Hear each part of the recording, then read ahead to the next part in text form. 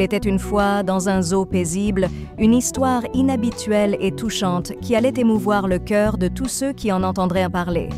Tout commença avec une mère labrador, fière et dévouée, qui venait de donner naissance à une adorable portée de chiots.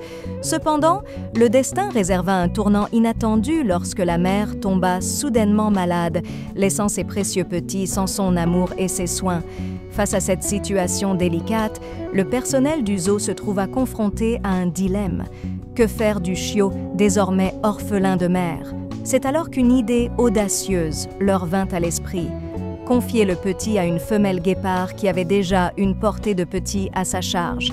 Avec un mélange d'appréhension et d'espoir, ils décidèrent de tenter l'expérience, comptant sur l'instinct maternel de la guéparde pour prendre soin du chiot labrador.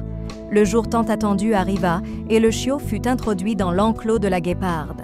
Initialement méfiante, la femelle guépard examina le petit intrus avec curiosité, mais à la grande surprise de tous, elle accepta rapidement le chiot comme faisant partie de sa propre famille.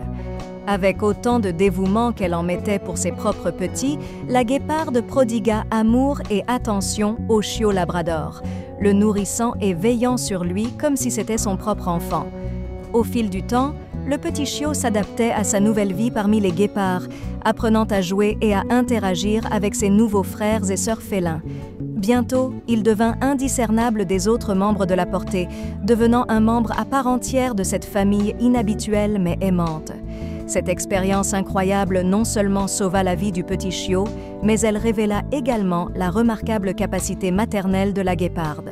À travers cette histoire, on pouvait voir comment l'instinct de prendre soin de sa progéniture pouvait transcender les différences entre les espèces et unir les membres les plus divers du règne animal c'était une leçon d'amour, de compassion et de solidarité qui résonnait au plus profond de chacun, rappelant que parfois, les liens qui nous unissent vont bien au-delà de ce que l'on pourrait imaginer. Si vous avez aimé la vidéo, likez et abonnez-vous à la chaîne, où vous trouverez plein de choses intéressantes.